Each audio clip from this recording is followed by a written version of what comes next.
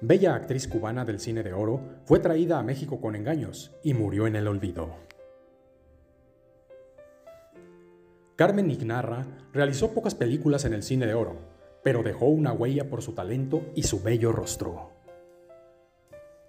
Cuba ha sido un semillero de estrellas.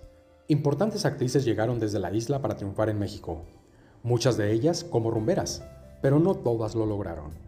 Como esta bella mujer que actuó en el cine de oro, pero fue traída a nuestro país con engaños y murió en el olvido. Carmen Ignarra Ahuel conocida en el ambiente artístico como Carmita Ignarra. Nació en Cienfuegos, Cuba, el 30 de marzo de 1927. Hija de José Ignarra Petricioni y de Ana María Güell. Y tataranieta del primer conde de Güell. La actriz vivió su infancia como integrante de una familia de buena posición económica.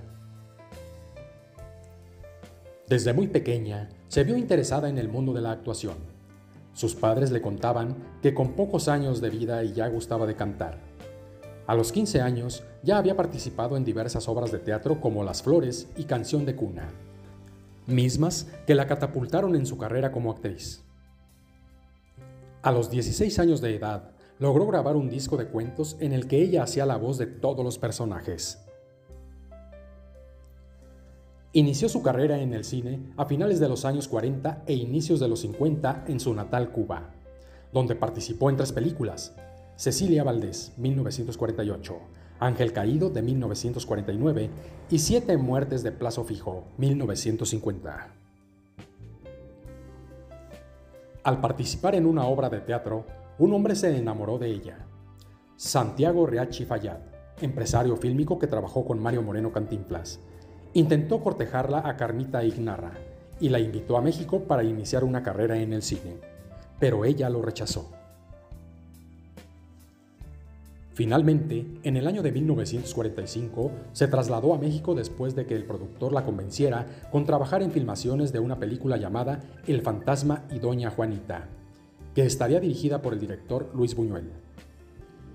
Después de un tiempo, la bella cubana se dio cuenta de que había sido traída con engaños por Riachi Fayad, ya que esta película jamás se filmó.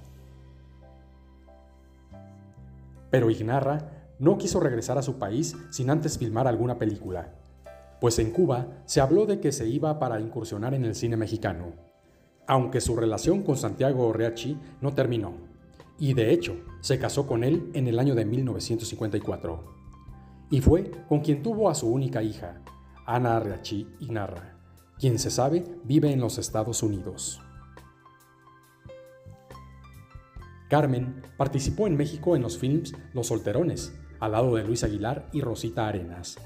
Historia de un marido infiel, con Rosa Carmina, otra bella cubana que vivió una tragedia que la hizo dejar todo. Y mañana serán mujeres y el monstruo en la sombra. Pero la misma Carmita afirmó en algunas ocasiones que fue su mismo esposo quien frenó su carrera. Se dice que Riachi no quería que su mujer despuntara y se convirtiera en una estrella, por eso le buscaba pequeños papeles.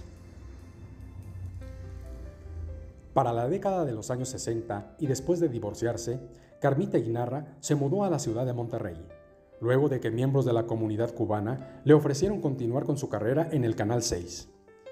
Protagonizó algunas telenovelas, pero poco a poco fue quedando en el olvido.